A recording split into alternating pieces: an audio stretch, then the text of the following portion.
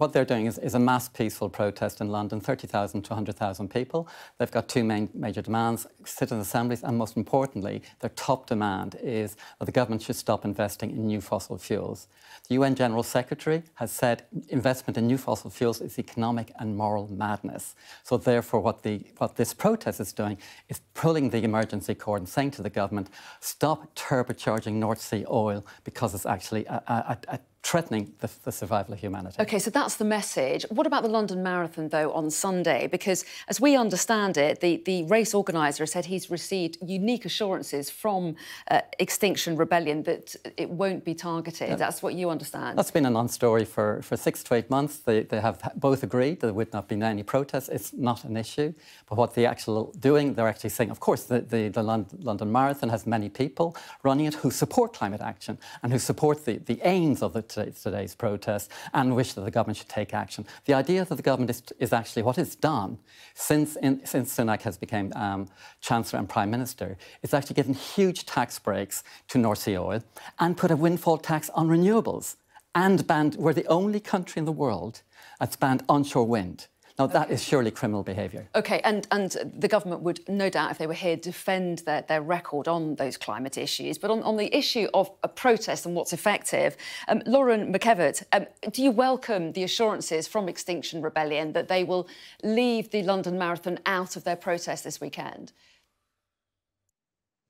Well, I think it's probably one of the more sensible things that they've done because, frankly, what I think Extinction Rebellion have ended up doing to themselves, and Just Stop Oil are in the, the same category as this, is they've alienated a huge chunk of people within Middle England who actually fundamentally agree with a lot of what they're saying. People who live in, for example, rural communities who say, well, you know what, I have noticed the climate changing. My farming neighbor has changed 200 year planting schedules on the basis of rains changing. So, of course, I recognize that the climate has changed. But supergluing yourself to a motorway, or bringing London to a standstill. Neither of these are options that actually win over hearts and minds to your argument, particularly when you abuse statistics to the extent that Extinction Rebellion do. They often point to the 8.5 RC, RCP figure, which is not a forecast. It is a model being used by IPCC. If nothing changes, then indeed coal consumption goes up.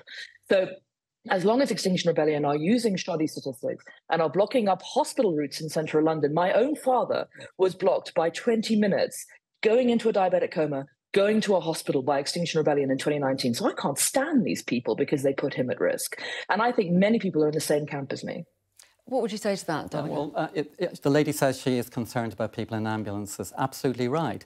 What about the Tory government's record on ambulances? Hundreds of people every month dying because of lack of ambulance services. So this is a, this is a canard. The, any protest will occupy a street. Any protest will actually cause uh, uh, an interruption in a city. So the idea that that's a canard. What we need to focus on is actually, for example, the 30 million people in Sudan facing death from, from starvation and the 33 million people in Pakistan suffering from, from okay. flooding. So that's where the real concern should be. Sorry to cut you yes, off. Very short the time. UK, the, the, UK, the UK's carbon emissions globally are 0.93% at the end of 2021 okay. as percentage of overall carbon emissions. Okay.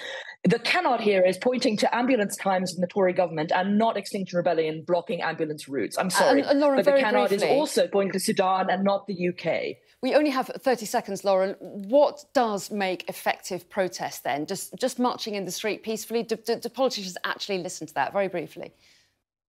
No, they don't. Lobby your members of parliament bring them legitimate statistics that you're concerned about. Don't start falsifying IPCC's models instead of actual legitimate forecasts. Bring logic and reason to the table, and don't just you know participate okay. in what is extended performance art on the streets of London. Okay, we are so short of time, but Donnachadh and Lauren, we really appreciate your time. Thanks both so much. Thank you.